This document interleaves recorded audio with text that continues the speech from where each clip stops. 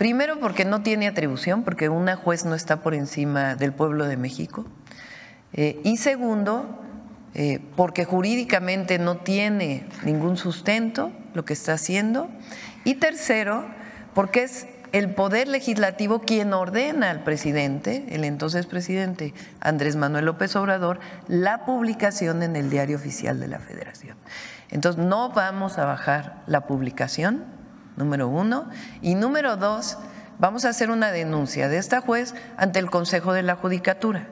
Ya sabemos que el Consejo de la Judicatura no necesariamente está haciendo su trabajo, pero de todas maneras no queremos que quede en impunidad, queremos que quede un antecedente de que hay una juez que por encima de su función está pidiendo eh, que se baje una publicación que se hizo a partir de un proceso legislativo de cambio constitucional que está establecido en la propia Constitución y que deriva de la voluntad del pueblo de México expresada en las urnas el 2 de junio del 2024. Entonces, esas esos dos temas queríamos plantearles.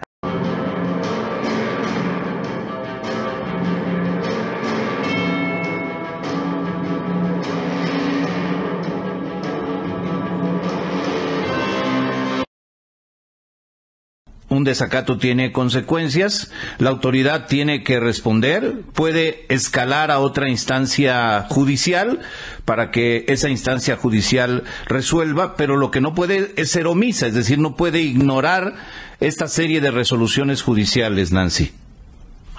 Correcto.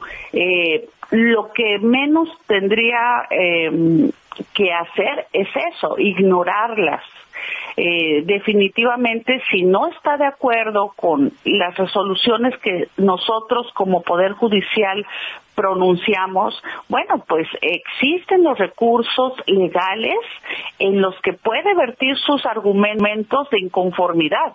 Y estos serán analizados eh, por la superioridad, que son los tribunales colegiados, pero no desacatar abiertamente una resolución y en este caso una suspensión del acto reclamado porque, bueno, pues ello genera consecuencias graves y la propia constitución establece que, bueno, pues esto eh, ya estamos hablando de la comisión de un delito. GuillermoOrtega.com Tu sitio de noticias.